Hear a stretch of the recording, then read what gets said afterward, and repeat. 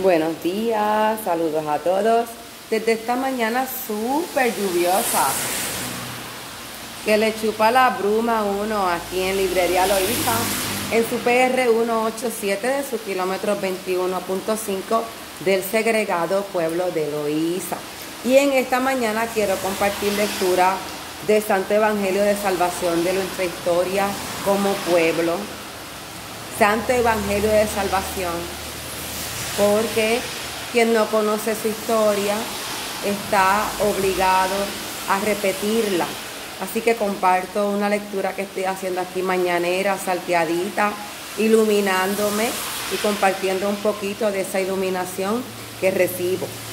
en esta ocasión leemos de Historia Geográfica Civil y Natural de la isla de San Juan Bautista. Vamos a ver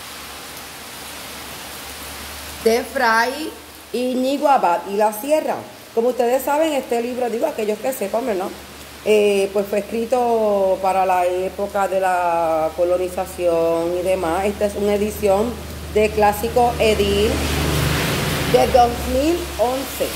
Estamos leyendo el capítulo 15. Queda la cosa que lo abrí así. Voy a coger este libro aquí, abrirlo en cualquier página, a ver qué sale. Eso fue exactamente lo que hice. Me encanta este jueguito. Lo aprendí de un libro que se llama Ilusiones de Richard Bach. Capítulo 15 dice, huracanes furiosos que sufrió la isla. Piérdense las minas, asaltos de los caribes, la abandonan los indios, pasa Cedeño a la Trinidad llevándose muchos vecinos, con lo cual queda la isla casi desierta y arruinada. Con el título no habría que leer, ¿verdad? Pero decimos, aunque la serie de sucesos desgraciados que experimentó esta isla desde los primeros años de su descubrimiento era muy suficiente para haberse despoblado, la fertilidad de su suelo y abundancia de sus minas mantuvieron a los españoles en ella entre las continuas guerras que los fatigaron, especialmente desde los años 1525 hasta 1530, en cuyo tiempo los ataques de los caribes, las piraterías de los franceses y otros émulos de los gloriosos progresos de la religión y la monarquía española, desnudos de toda humanidad, cometían muchas crueldades y robos contra nuestros establecimientos, interrumpiendo el comercio, sublevando los indios y usurpando sus tierras sin otra razón ni autoridad que la superioridad de fuerzas navales que juntaron en aquellos mares. Suena familiar.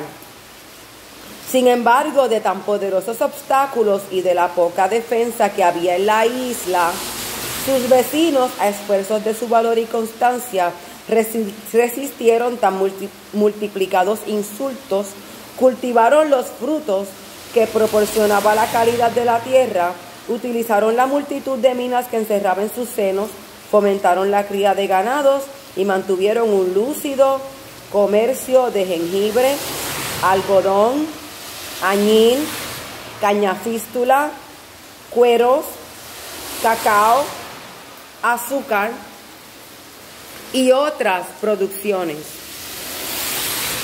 Pero un cúmulo de calamidades horrendas las redujo a tanto conflicto que los más resolvieron abandonar sus casas y huir de la isla. Se irían a Florida.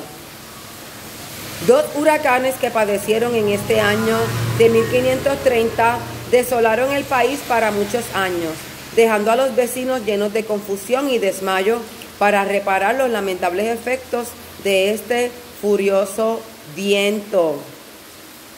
El huracán es el fenómeno más horroroso de cuantos se observan en esta isla y aún creo que en toda la América. Es un viento furioso acompañado de lluvias, de relámpagos, truenos y las más veces de temblores de tierra. Circunstancias todas las más terribles y devastadoras que pueden unirse para arruinar un país en pocas horas. Los torbellinos del aire y torrentes de las aguas que inundan los pueblos y campiñas con un diluvio de fuego parece, parece anuncian las últimas convulsiones del universo. Vamos a dejarlo aquí. Esto fue una lectura aleatoria, los invito, ¿verdad? Que cualquier libro es bueno, sobre todo si es historia de su país y en este caso de Borinquen, otro hora llamado Puerto Rico. Desde su kilómetro 21.5 en la PR 187, Mara Clemente aquí con su, con mi cafecito. Oh, mira mi tacita. Ah. Acá para que te hagas de una tacita aquí y colaboras con nosotros en nuestro esfuerzo de seguirle regalando letras. Y pronto venimos con una nueva publicación. No voy a decir nada más. Muchas bendiciones.